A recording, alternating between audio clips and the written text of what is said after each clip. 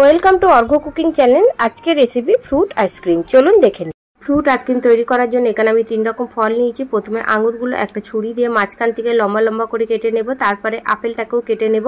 আপেলটা কেটে নেওয়ার পরে মাঝখান দিয়ে কেটে নেওয়ার পরে দানাগুলোকে ফেলে দেবো। দিয়ে মাঝখান দিয়ে কেটে নিয়ে এটাকে সরু সরু পাতলা পাতলা করে আপেলটা পিস করে নিতে হবে। তারপরে এই ফলটাকেও আমি হাত দিয়ে খোসাটা ছাড়িয়ে দেবো। হাত দিয়ে খোসাটা ছাড়ানো যাচ্ছে না বলে এখানে একটা মেশিন দিয়ে আমি ছাড়িয়ে দিলাম। এইভাবেই খোসাটাকে ছাড়িয়ে নিয়ে মাঝখান থেকে কেটে নেব। তারপরে এগুলোকে গোল গোল করে পাতলা করে কেটে নিতে হবে। এটা একটু পাতলা করে কাটবেন। তাহলে এটা খেতে ভালো লাগবে। তারপরে এখানে আবার মাঝখান থেকে কেটে দিতে হবে, দু হাতখানা করে নেব। এইভাবে ফলগুলোকে কেটে নিলাম।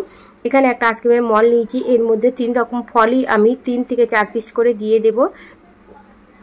প্রত্যেকটাতে আমি তিন থেকে চার পিস করে ফল দিয়ে দেব। এইভাবেই আপনারা একবার বাড়িতে তৈরি করে দেখবেন। এবারে এখানে আমি ঠান্ডা জল দিয়ে দিলাম। জল দিয়ে এটাকে আমি ফয়েল পেপার চাপা দিয়ে ডিপ ফ্রিজে এটাকে রেখে দেব। একটা ছুরি দিয়ে এটাকে আমি কেটে দিচ্ছি আইসক্রিমের স্টিকটা ঢোকানোর জন্য। এইভাবে আইসক্রিমের স্টিকটা আমি ঢুকিয়ে দেব। চার ঘণ্টা পর আমি বার করলাম, দেখুন।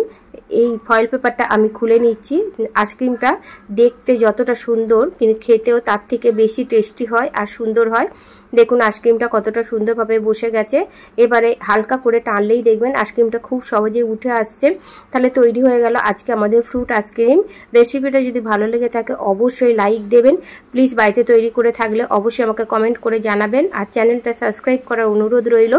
এইভাবে গরমে, প্রচণ্ড গরমে আইসক্রিম খেতে সবাই পছন্দ করে। যখনই মন চাইবে তখনই বাড়িতে ঝটপট এই আইসক্রিমটা তৈরি হয়ে যায়। এই আইসক্রিমটা তৈরি হতে খুব বেশি সময়ও লাগে না, কম সময়ের মধ্যে এই আইসক্রিমটা তৈরি করা হয়ে যায়।